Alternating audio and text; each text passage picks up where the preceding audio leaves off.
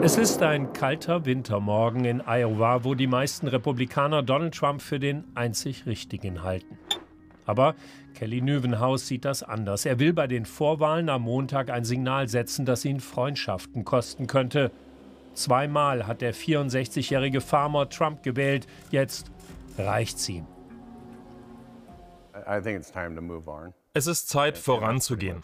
Das Chaos, das in den letzten Jahren angerichtet wurde, ist einer der wichtigsten Gründe, dass ich zu Nikki Haley tendiere.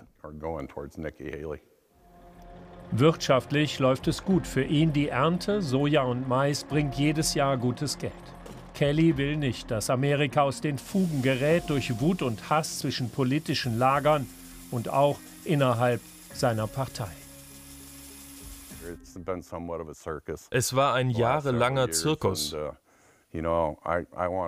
Ich will einfach nur eine Präsidentin, die in die Welt reisen kann und in den Gesprächen dann entschlossen und stark ist, sodass die Vereinigten Staaten als mächtige Nation gesehen werden. Das geht auch, ohne gemein zu sein.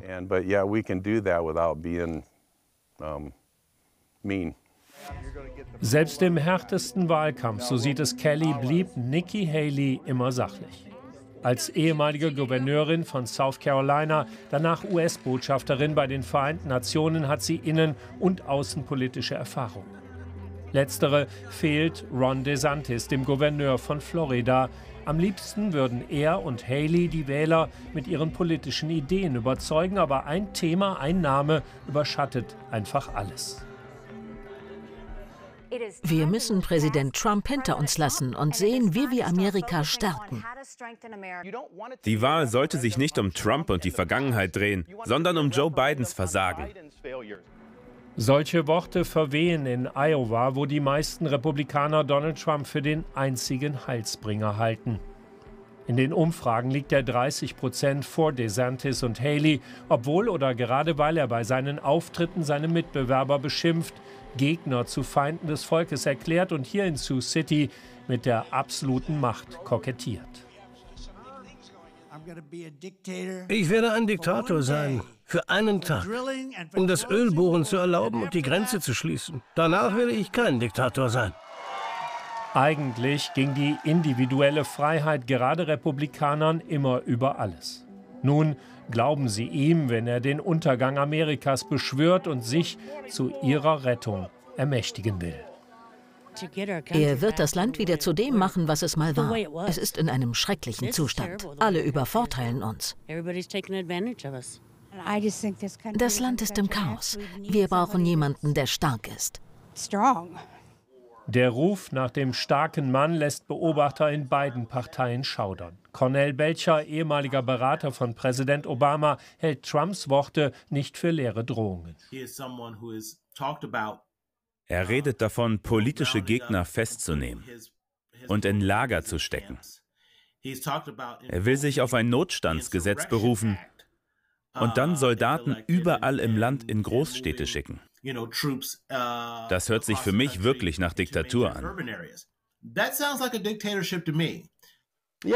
Trump ist nicht nur eine große Gefahr. Er wäre sogar tödlich für die Demokratie, wenn er gewinnt. Es ist möglich, dass es wieder nur vier Jahre voller Regierungsunfähigkeit würden, aber ein Präsident der Vereinigten Staaten hat eine große Macht. Nicht nur hier, sondern auch international. Deshalb steht hier die Demokratie auf dem Spiel. Adam Kinsinger hatte für Trumps Amtsenthebung gestimmt, gilt als Verräter, weil er nun Joe Biden unterstützt und vor der Radikalisierung seiner eigenen, der Republikanischen Partei warnt. Rechtskonservative aus Politik und Denkfabriken haben unter dem Titel Mandat zur Führung auch schon die Blaupause für eine autoritäre Präsidentschaft aufgeschrieben. Fast 1000 Seiten mit Plänen für die verschiedenen Politikbereiche. Triebfeder ist die Heritage Stiftung. Die rechte Denkfabrik rekrutiert Trump-Anhänger, um 50.000 Regierungsmitarbeiter zu ersetzen. Im Gesinnungstest wird gefragt, ob der Präsident seine Agenda durchsetzen können sollte, ohne dass ihn nicht gewählte Beamte daran hindern. Donald Trump wird, wenn er gewinnt, in diese Amtszeit viel klüger hineingehen als beim letzten Mal. Er wird Leute um sich herum platzieren, die ihm sagen, Herr Präsident, ich stelle Sie über die Verfassung. Es wird Trump nicht schwerfallen, solche Leute zu finden. Wir haben einen Karikaturisten gebeten, die Ausgangslage im Wahljahr zu verdeutlichen. Trotz aller Widrigkeiten spricht demnach einiges auch weiterhin für eine Wiederwahl Joe Bidens. Vor allem ist er eben nicht Donald Trump, schmiedet Allianzen weltweit und wirtschaftlich läuft es auch ziemlich gut. Das Wachstum liegt bei fast 5 Prozent, der Konsum läuft wie lange nicht, die Durchschnittslöhne liegen höher als vor der Corona-Pandemie, überall neue Jobs, die Arbeitslosigkeit mit 3,8 Prozent auf historischen Tiefständen. Amerikas Wirtschaft ist stark, aber der Präsident wirkt schwach, zumindest körperlich. Deshalb wünschen sich mehr als 70 Prozent der Amerikaner, dass der 81-Jährige an Jüngere übergibt. Warum sollte er? Amerika hat die stärkste Wirtschaft in der Welt. Unsere Verbündeten vertrauen uns und wir führen die Welt als Bollwerk der Demokratie. Warum, um Himmels willen, sollte jemand mit dieser Bilanz, mit dieser Stufe von Erfahrung und Führungskraft die Bühne verlassen, wenn er doch so viel Gutes erreicht hat und noch so viel tun kann? Aber nicht nur sein Alter, sondern auch andere Themen ziehen Biden derzeit runter. Zum Beispiel der Krieg in Gaza. Die uneingeschränkte Solidarität für Israel empört muslimische und arabischstämmige Wähler in den USA. Ich bete, dass das in Gaza nicht so weitergeht. Wenn doch, dann wird das dem Präsidenten bei der Wahl nicht helfen.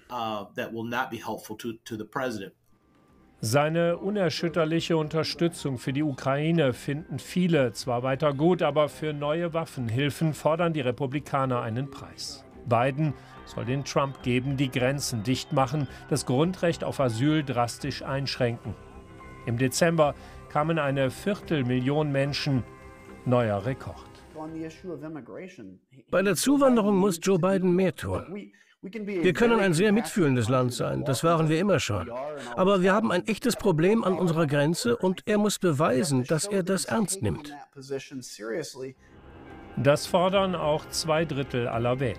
Republikanische Gouverneure lassen Zehntausende von Zuwanderern in demokratisch regierte Städte transportieren.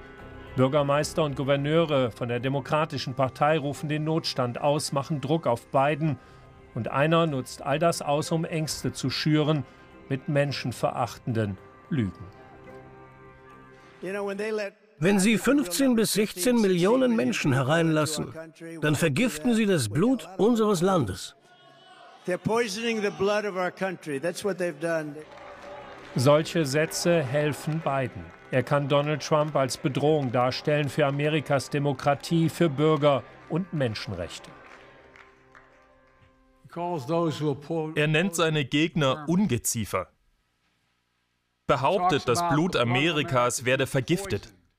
Das ist exakt die gleiche Wortwahl wie in Nazi-Deutschland. Was genau sind die Absichten jenes Mannes, seine Pläne für Amerika, wenn schon im Wahlkampf seine Sprache der von Diktatoren gleicht? Unser Karikaturist hat eine konkrete Vorstellung davon, dieser Herausforderung sieht sich der amtierende Präsident selbst gewachsen. Viele bezweifeln das. Wohl deshalb stellt Biden Donald Trump als größtmögliche Gefahr dar, damit die Angst ihm Stimmen bringt. Aber diese Angst, so meinen die Experten, ist voll und ganz berechtigt. Das trifft es genau. Und ich werde Joe Biden unterstützen. Denn das Überleben unseres Regierungssystems ist viel wertvoller als jeder kleinliche Politstreit, den wir in den letzten 100 Jahren hatten und in den nächsten 100 haben werden. Dieser Hai bedroht die ganze Welt. Denn wenn die Demokratie in Amerika untergeht, wird das die ganze Welt spüren, mit ernsten Folgen rund um den Globus. Genau das will Kelly Nüvenhaus verhindern. Amerikaner sollten trotz aller politischen Differenzen zusammenarbeiten. Ich will in 2024 für eine Präsidentin stimmen, bei der ich stolz sagen kann, dass es meine Präsidentin ist. Jemand, der die Vereinigten Staaten wirklich gut repräsentiert. Bei der Vorwahl am Montag soll es hier minus 20 Grad kalt sein. Trotzdem will Kelly zur Wahl gehen, seine Stimme Nikki Haley geben, um neues Trump-Chaos zu verhindern.